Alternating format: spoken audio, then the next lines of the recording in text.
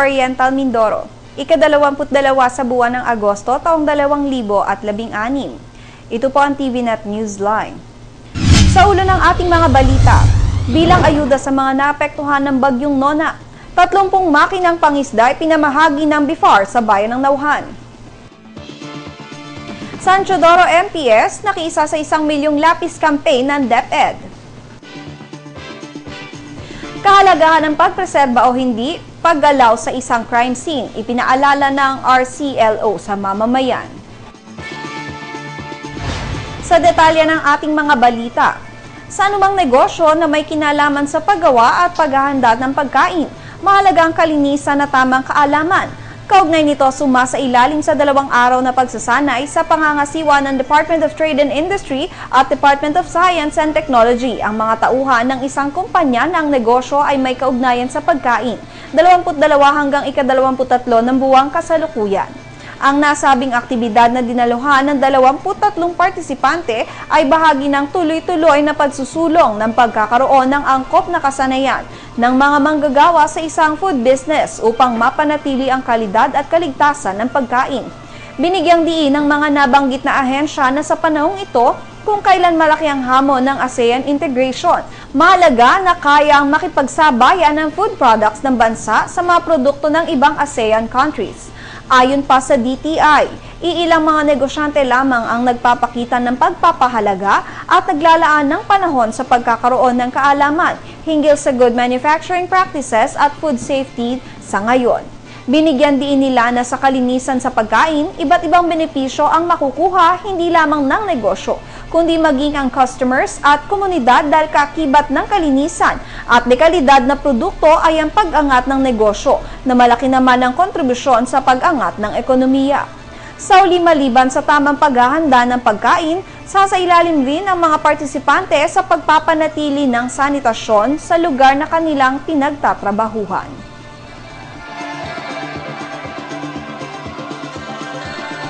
Sa ibang balita, matapos ang orientation ng mga kapitan ng barangay sa lungsod kaugnay sa Gender and Development Program, sinimulan na ang pagpaplano at budgeting sa mga babalangkasi na programa at proyekto ng mga barangay sa ilalim ng 5% GAD Fund na nakaloob sa annual budget ng bawat barangay. Bukod sa barangay chairman, kasama sa mga dumalo sa nasabing seminar workshop ang mga barangay treasurer, secretary, VALSI desk officer, BHW at DNS. Bawat isa ayon kay Dr. Teresita Bolor, City Health Program Manager, ay may mahalagang papel na gagampanan sa pagsusulong ng gender mainstreaming sa kanilang pamayanan. Ayon kay Nanette Heronimo, City God Vocal Person, dahil lubhang malaki ang grupo ng mga barangay sa lungsod ng Kalapan, hinati nila ang mga ito base sa health cluster ng CHSD. Una nang sumala ang Sagad Seminar ang Cluster 1 na kinabibilangan ng mga barangay ng Suki, Bulusan, Buhuan, Palhi, Silunay, Gutad, Lazareto, Maidlang, Nabotas, San Antonio, Silunay at Salong. Ang Gender and Development Program ay mandato ng batas, partikular na ng Magna Carta for Women. Paliwanag pa ni Dr. Valor, taong 2007 pa pinagtibay ang batas na nag-aatas na ibilang sa priority projects ng barangay ang gender mainstreaming. Subalit hanggang sa taong 2011 hanggang sa kasalukuyan ay halos iilan lamang ang mga barangay na sumusunod dito.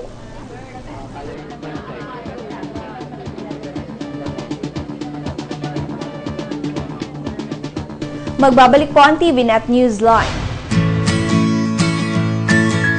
Wake up in a better mood.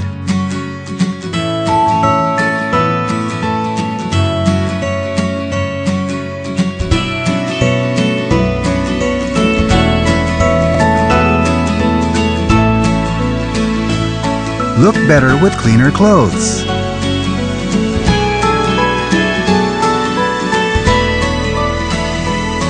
Better days begin with Panasonic.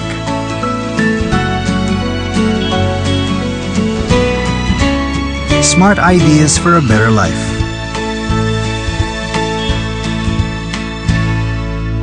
Panasonic Ideas for Life.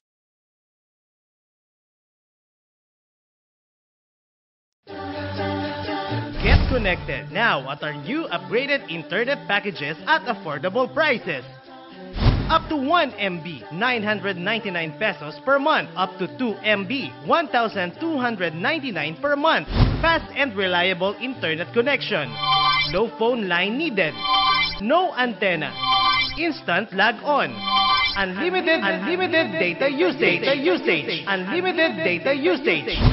Plus, you can enjoy over 80 power pack cable TV channels with superb quality signal. Hurry! Apply now at TVNet Office, Unit D, GLC Building, Juan Luna Street, San Vicente Nor, Calapan City with telephone numbers 043-288-4240 or 441-3182. So what are you waiting for? Get, connected, connect now!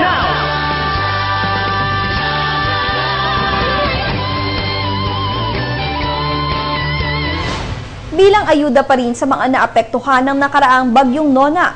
Namahagi ang tanggapan ng Bureau of Fisheries and Aquatic Resources o BIFAR ng 30 marine engines para sa mga mangingisda sa bayan ng Nauhan. Pinangunahan ang nasabing pamamahagi ni Mayor Mark Marcos kasama si Oriental Mindoro Provincial Fishery Officer Emilito T. Gibe at sinauhan Mago Marlene Asinas. Ayon kay Gibe, Malawak ang sakop ng kanilang tanggapan at kinakailangang ibahagi sa bawat bayan na apektado ang mga ayudang kagamitan para sa mga nasalantang mga mangingisda. Nangako rin ng naturang tanggapang pangrehiyon na sa mga susunod na araw ay nakatakda nilang dagdagan ang mga kagamitang pangisda.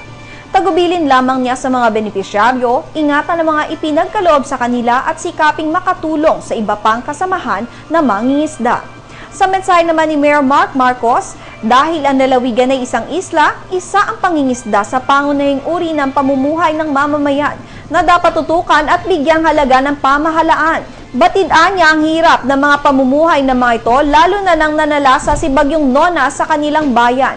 Umaasa ang punong bayan na sa pamamagitan ng ipinamahaging kagamitan at sa mga darating pang tulong mula sa pamahalaan ay tuloy-tuloy nang mabibigyan ng pansin ng nasabing sektor upang higit na palakasin at maging kaagapay ng kanilang lokal na pamahalaan sa pagsusulong ng progreso sa kanilang bayan.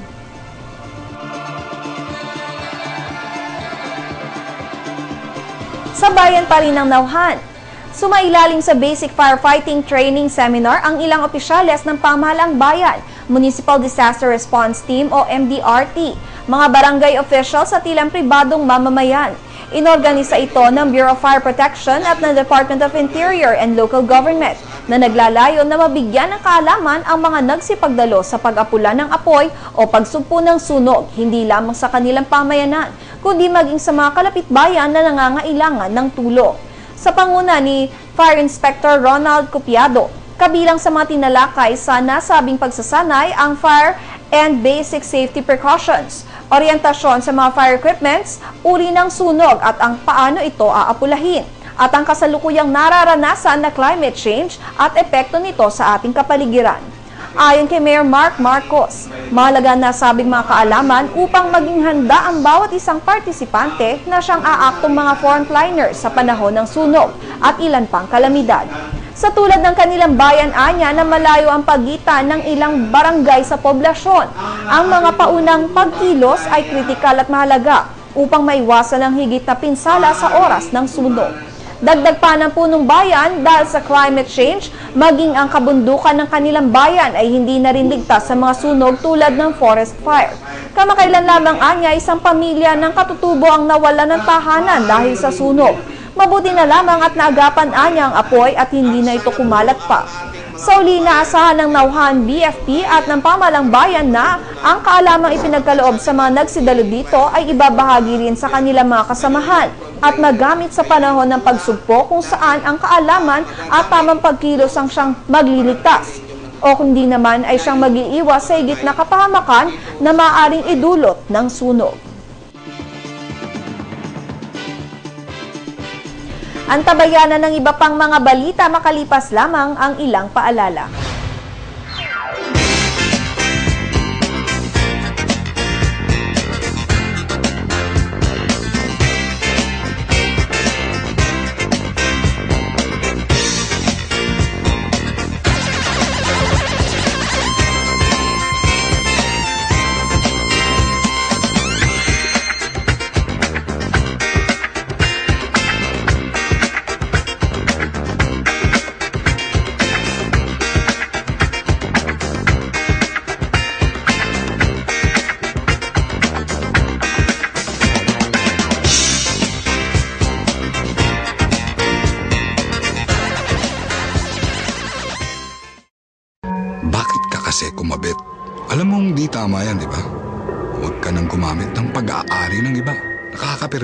Sa mga legal na cable.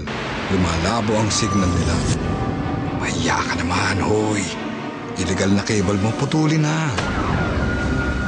Ano, gusto mo bang umabot pa sa kulungan? Umiwas ka na sa gulo tsaka skandalo. Huwag maging kabit. Magpakabit ng tama ngayon. Supported by PCT.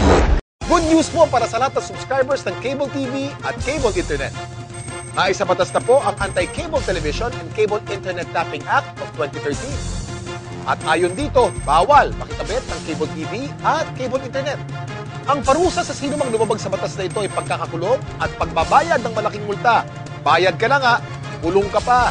Kim Atienza po, nagsasabing pagdating sa batas, hindi weather-weather lang. Huwag maging kabit. Supported by the PCT.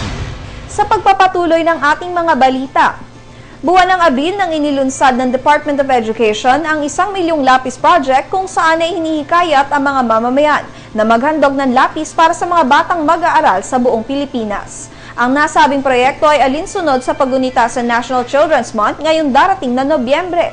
Layon din ng ahensya na mapasama ang proyekto sa Guinness Book World of Records. Ayon kay SP01 Maria Teresa Mirabete, puno nga bala sa pag-oorganisa ng proyektong ito sa bayan ng San Teodoro. Noong isang linggo pa nila sinimula ng pangangalap ng lapis sa mga barangay at 22 ng buwang kasalukuyan.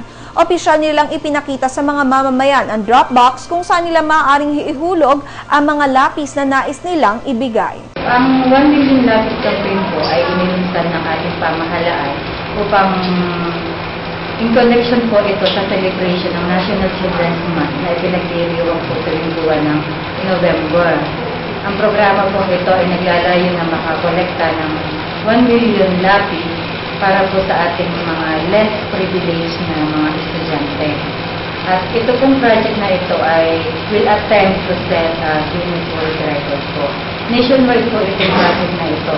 Hindi lamang po dito sa ating sa Mindoro, kundi sa buong, sa buong bansa po.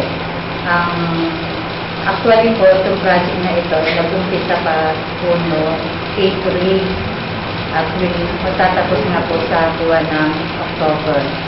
Na po, ang magiging final and last counting po ng mga lapis na makukolekta ay sa November, November 5 sa kick-out ceremony po ng National Children's Celebration. At sa November 20 po naman, ay doon po i-turn over yung mga nakolektang lapis sa DepEd po. Sila na po ang bahala mag sa mga estudyante po sa buong. Dagdag pa niya, ang proyekto ay matatapos sa ikalima ng Nobyembre at ibibigay naman ang lahat ng mga nakalap na lapis sa DepEd sa ikadalawamput isa ng Nobyembre.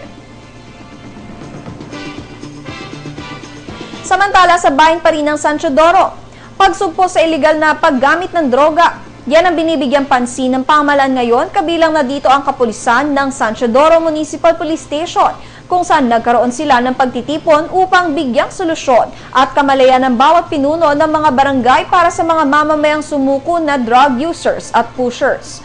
Ayon kay Police Senior Inspector Arman Garrido Rubio, Chief of Police ng San Teodoro Municipal Police Station. Isa sa kanilang isinasagawa ay ang barangay clearing operation kung saan mayroon itong apat na proseso. Una ay ang pag-identify sa mga hinihinalang drug users at pushers, lalo na ang opisyalis ng barangay na posibleng sangkot dito. Pangalawa ay ang arrest of drug personality. Pangatlo ay ang rehabilitation program para sa mga nahuli o depende sa pagiging hatol dito. At ang ikaapat ay ang preventive drug operation, kung saan iisa-isahin ng mga barangay upang bigyang kaalaman kung paano masusugpo ang paggamit ng droga sa kanilang nasasakupan. Yun pong sa ating tinatawag na uploadable RLL. Bali, dito po sa amin, San Teodoro, nagkaroon po kami ng 145 na voluntary surrenderers. Uh, 21 po dun ay mga pusher, uh, nakategorize namin as pusher, at 121 yung, ah 124 yung user. So, ngayon po, may mga plano po kami para sa aming mga self-surrenderer. Ah, una nga po dun yung i-record po po sila sa aming municipal health officer para ma-determine po kung ano po yung kanilang ah, ano po yung ano ng sir, kung sila kumagay, Korea o pwede po sa pagkaunsiling lang at balik na po sa community. At bukod po doon, may mga program kami yung yung tree planting, ah, may gagawin po kami project sa taas bundok. Tapos magkakaroon po kami na yung kung ano ba yung pagkatapos kung mag-turon pa sila, kakategorize po namin sila para malaman kung kung for line yung mga ibibigay namin sa kanila or pwede po sila maka ano, scholarship sa TESDA. Yan po ay pamamagitan na po ng aming LGU sa pamumuno ng aming mayor. mayor. Dagdag pa ni Police Senior Inspector Rubio. Magandang naging resulta sa pagbaba ng crime rate sa kanilang lugar mula nang inilunsad ng pamahalaan ang aksyon na ito kontra droga. Anya malaking tulong rin ang gabi-gabing pagpapatrol ng mga kapulisan sa buong lugar para maiwasan ang mga krimen. Mensahe naman niya na sana'y magtulong-tulong ang bawat mamamayan, hindi lamang ng San Teodoro kundi buong Pilipinas para sa kampanyang ito. Ako po nanawagan sa aming mga kababayan dito sa Sidoro. Uh, sana po ay magtulungan po tayo. Tulungan niyo po ang programa ng ating pamahalaan ng uh, kampanya na pagsigilan ng droga. At nakikiusap din po ako na tulungan niyo po kami na ma-maintain po yung ating kaayusan at kapayapaan sa ating bayan. Uh, maraming salamat po. Nagpapasalamat po din po sa aming, aming municipal mayor sa kanyang napakalaking suporta sa kampanya namin dito sa bayan ng San Pedro. Sa bayan naman ng Victoria, may git sa 700 runners ang tumakbo bilang pagsuporta sa Run Against Drugs. Isang fun run na inorganisa ng Victoria Municipal Police Station bilang bahagi ng kanilang kampanya kontra iligal na droga. Ganap na alas 5 ng umaga, ika-21 ng buwan ng Agosto taong kasalukuyan. Nagsimula ang pagtakbo mula sa munisipyo ng Victoria paikot sa ilang pangunahing kalye ng poblasyon. Matapos ang fun run, isang maikling programa ang idinaos na sinundan ng patuloy na pag-ehersisyo at sayawan ng mga lumahok na runners. Ayon kay Police Inspector Marvin Inocencio, Victoria PNP Chief, kabilang sa mga nakiisa sa kanilang kampanya mga sumukong drug personality sa kanilang bayan, mga kawani ng pamalang bayan ng Victoria, ilang PNP stations, mga pribado at sibikong organisasyon kasama ng ilang konsernadong mamamayan. Sa mensahe ni Mayor Lito Malabanan, nagpapasalamat siya sa mainit na pagsuporta ng kanilang mamamayan sa programa ng Victoria PNP at LGU kontra iligal na droga. Anya sana magtuloy-tuloy ang ganitong suporta at pagtulong ng mamamayan upang tuluyan ng masawata ang iligal na droga sa kanilang bayan. Pagkakaisa naman ang binigyang halaga ni Vice Mayor Mel Calio upang maging matagumpay ang bawat proyekto at programa ng kanilang bayan Mula sa tanggapan ng ehekutibo, legislatibo at kapulisan, iisaan niya ang layunin at pagkilos. Ang naganap na fun run ayon sa Vice Alcalde ay simula lamang ng kanilang mga inilatag na gawain bilang rehabilitation program sa kanilang mga surrenderies. Ang nalikom na pondo mula sa ginanap na fun run ay ilalaan naman sa outreach program ng Victoria MPS kung saan isang katutubong pamayanan sa Barangay Loyal ang kanilang natukoy na maging benepisyaryo.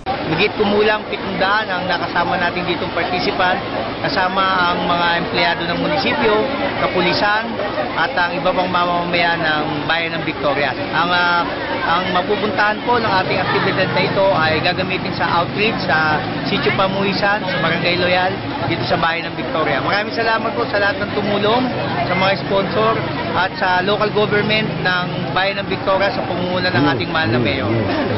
Nagpapasalamat ako sa aking mga kababayan, lalo tigit doon sa mga sumali at uh, nag-participate. Siyempre, napakasaya pagka mas marami. And then, uh, bukod doon, nagpapasalamat ako sa aming mga sponsor. Uh, walang tigil ang pagsuporta dito sa amin sa bayan ng. Napakasaya, no? Dahil ngayon, sa bayan ng Victoria, ang mayor, ang vice mayor, lahat ng kanilang bayan nagkakaisa. Is uh, initiative ng ating uh, BNP sa pangunguna ni Police Inspector Vicencio. At uh, ito ay start ng uh, celebration ng uh, birthday ng ating mayor, uh, Mayor Malabanan. Ang tunay na pagkakaisa sa bayan ng Victoria ay narito. Kaya walang dahilan na ang aming bayan ng Victoria sa bagong mukha nito ay patuloy ang paglalas. Iba pang mga balita sa aming pong pagbabalik.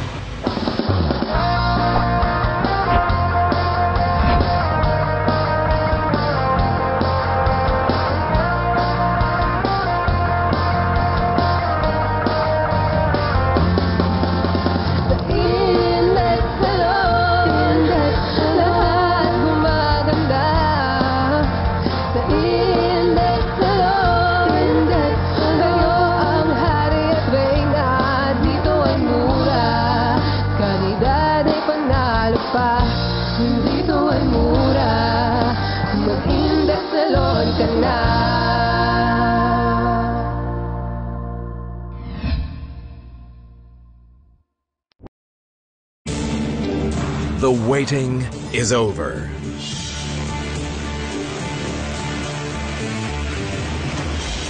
New Shell V Power Nitro Plus is here.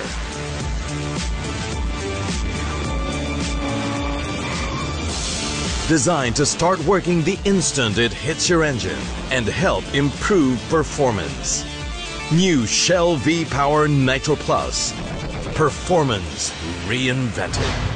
Ipinakita ng Bansud Municipal Police Station ang pagsuporta nito sa international humanitarian law kasama ang 85 sa halos 500 residente ng nasabing bayan na sumuko bilang users at pushers. Ayon kay Police Senior Inspector Marfredo Dulatre, umikot ang mga ito sa bisinidad ng barangay poblasyon bilang bahagi ng aktibidad.